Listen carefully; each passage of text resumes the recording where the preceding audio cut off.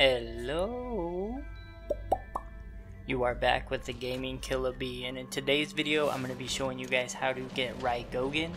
Rigogen is a resource needed to upgrade your base. Hopefully you guys decided to build your base on a planet with a lot of water. If you didn't, head to a planet that has some water because that's where the Rigogen is going to be. Also make sure you guys have a couple of the aeration membranes. You're going to be underwater for a long time, so make sure you have a couple of those fully charged when you go into the water. Um, once you get to the water, go ahead and jump in. The Rigogen is pretty hard to miss because it lights up.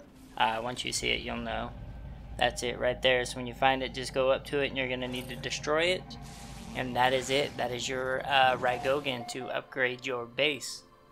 Hope you guys enjoyed the video. If you did, please hit that like button for me. I always appreciate that. If you haven't subscribed yet, please do so. I will leave a uh, little icon right there for you to subscribe. If you guys have anything else you want to see specifically in No Man's Sky, go ahead and leave those comments down below. I always appreciate you guys, and I will see you in the next video. Peace out.